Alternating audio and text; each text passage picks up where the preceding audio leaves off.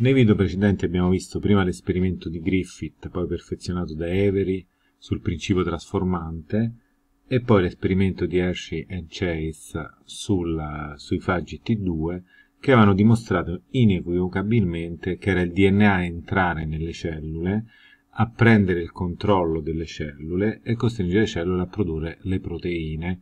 Nel primo caso eh, la capsula polisaccaridica del, del ceppo S, nel secondo caso le proteine del virus T2 che infettava il batterio.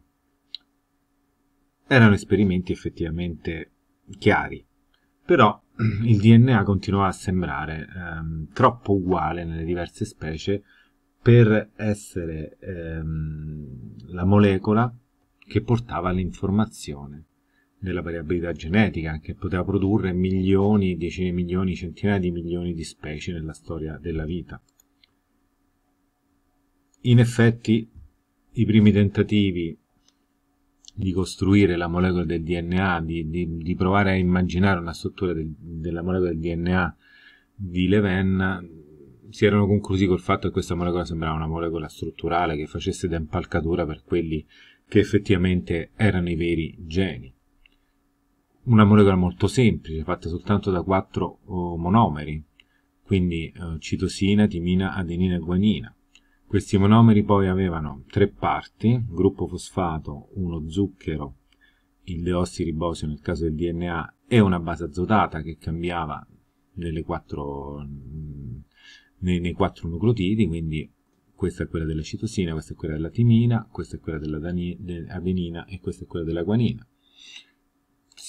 Leven aveva quindi supposto che aveva capito come questi si potevano legare, con il gruppo fosfato che faceva da ponte fra due zuccheri adiacenti, però immaginava che queste basi si ripetessero all'infinito, tetranucleotide ATGC, ATGC, ATGC, uguale per tutte le specie viventi. Ma era proprio così?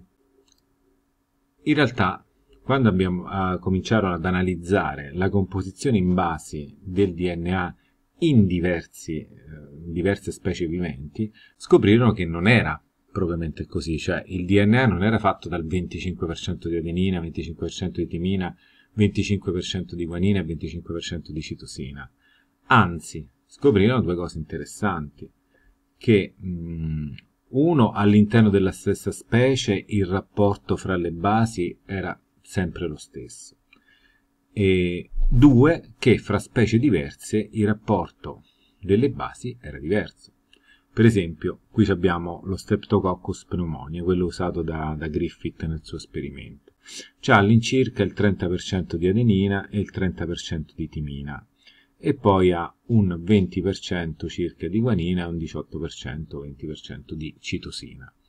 Se andiamo a vedere ehm, il riccio di mare, ad esempio. Il riccio di mare invece ha il 32-33% di adenina e timina e soltanto il 17-18% di eh, guanina e citosina. Il, uh, il ratto ha il 28,6% e il 28,4%, quindi attorno al 28,5% di adenina e timina e soltanto il 22,5%, 21,5% di eh, guanina e citosina. Certo, guardando questa tabella, se uno guarda l'uomo, l'uomo più o meno ha la stessa composizione percentuale in basi a T e GC dello Streptococcus pneumonia. Quindi questi dati erano abbastanza controversi, però erano già un indizio che le diverse specie avevano dei DNA di composizione leggermente diversa, fatto sempre da queste quattro basi, ma non nelle stesse percentuali.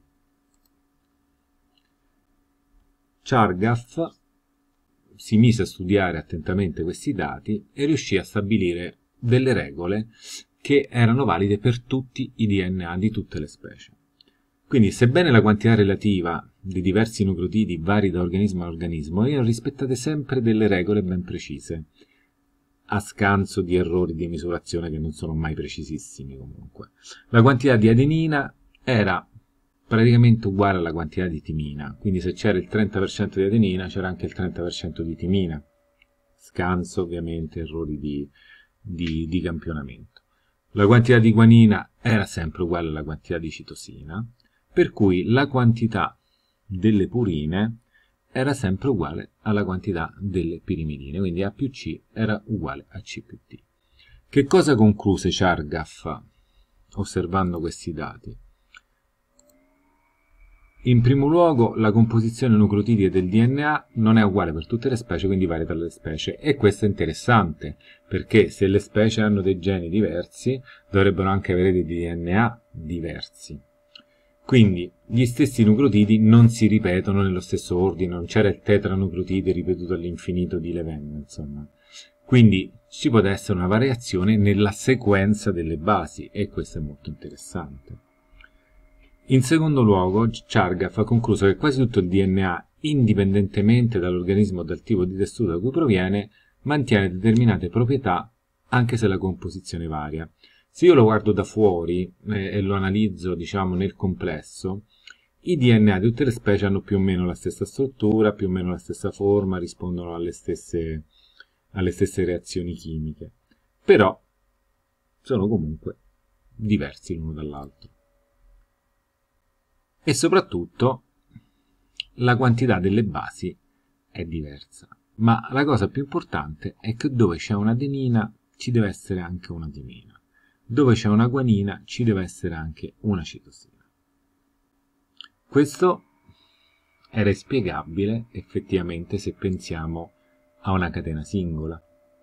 Perché se c'è una catena singola e io ammetto che il DNA abbia delle sequenze diverse, perché mai dovrebbe esserci per, una, per, un, per ogni adenina una temina, per ogni citosina una guanina?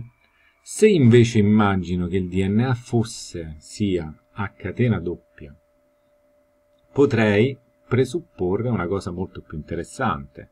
Cioè, magari se il DNA è fatto da due filamenti, se c'è una base in un filamento, deve esserci per forza soltanto un'altra base nell'altro filamento, quindi magari se c'è l'adenina su un filamento ci deve essere per forza la timina, se c'è una citosina ci deve essere per forza una guanina. Sarebbe stato molto interessante scoprire che il DNA fosse a doppio filamento. La fortuna di Watson e Crick, che è un po' la sfortuna di Rosalind Franklin, volle che i, i, i due gruppi di scienziati lavorassero in laboratori vicini e che Rosalind Franklin avesse fatto delle belle fotografie di cristallografia a raggi X del DNA. Questa tecnica permette di analizzare grandi molecole e di mh, mm, estrapolarne grossolanamente la struttura tridimensionale. Questa è la foto più famosa forse della biologia, la foto scattata da Rosalind Franklin con la tecnica di cristallografia a raggi X sul DNA. Quale può essere la spiegazione di questa specie di X e di questo tondo attorno? La spiegazione di questa specie di X e questo tondo attorno potrebbe essere il fatto che il DNA abbia una struttura a elica, ma non a elica singola, ma a elica doppia. E questo spiegherebbe tutte le ombre che vediamo qui sulla, sulla foto dovute alla rifrazione e alla diffrazione dei, dei raggi X. Questi dati erano tutti dati che arrivarono proprio a ridosso della pubblicazione dell'articolo di Watson e Crick nel 1953 e, e, che i due scienziati sfruttarono, in questo caso senza neanche riconoscere i meriti a Rosalind Franklin, per eh, elaborare la loro struttura del DNA. Quindi nel prossimo video vedremo, riassumeremo diciamo tutto quello che abbiamo visto in questi video precedenti e costruiremo, ricostruiremo la struttura del DNA come elaborata da Watson e Crick.